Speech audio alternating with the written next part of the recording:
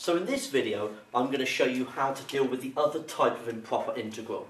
The one where um, the limits on the integral are, have a conflict, I guess, with the equation that we're looking at.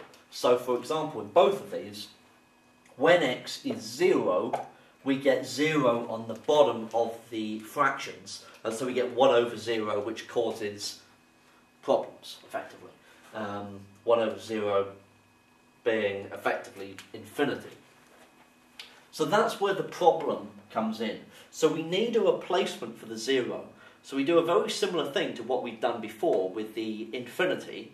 Instead of um, replacing infinity with a letter, we're going to replace the zero with a letter.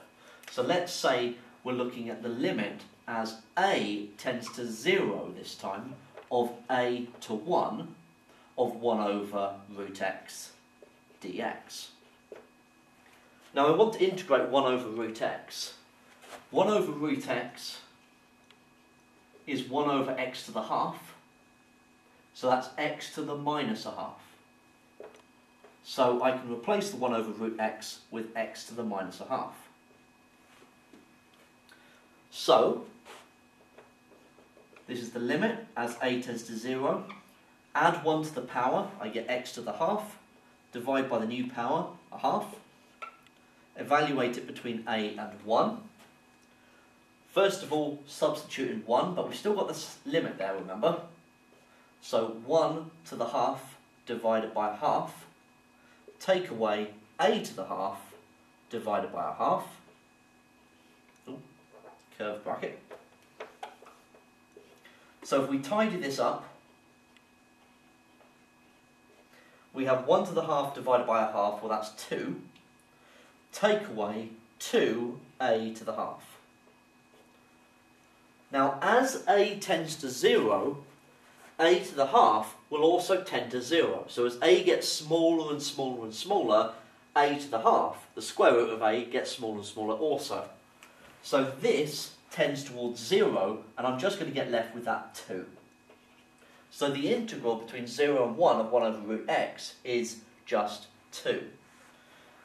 So as a tends to 0, a to the half tends to 0. These explanation parts um, of what's going on are very useful for the examiner to see. They, uh, it allows them to see your comprehension, if you will, of what's happening here. So let's look at this example. Um, evaluating between 0 and 4, 1 over x squared dx.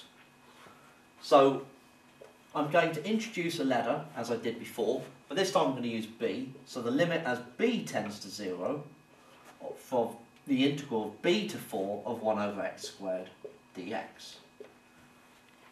Now 1 over x squared is x to the minus 2. So if I add 1 to the power, so x to the minus 1, divide by the new power, evaluate it between b and 4, we're going to get the limit as b tends to 0 of 4 to the minus 1 over minus 1, take away b to the minus 1 over minus 1. Now let's tidy that up.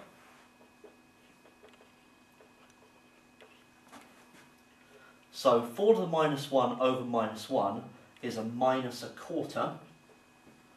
And here we've got two minuses will cancel out, so we've got plus 1 over b. Now, as b tends to 0, 1 over b will get larger and larger and larger. Uh, because you've got 1 over 1 half, for example, 1 over 2, uh, 1 over 1, 1 over 0.5 is 2, 1 over 0.1 is 10, 1 over 0.01, 1 over 0.00001, and so on. And the fraction gets larger and larger and larger. This explodes, effectively, and so the whole integral diverges.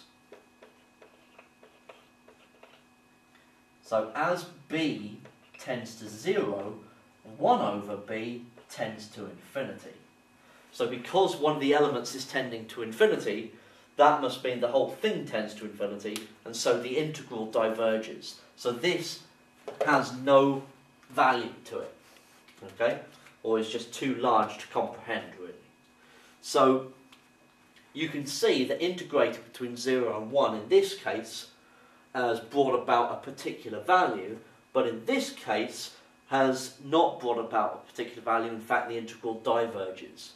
So you can see that you can get this uh, type here in these types of improper integrals as we did in the previous two.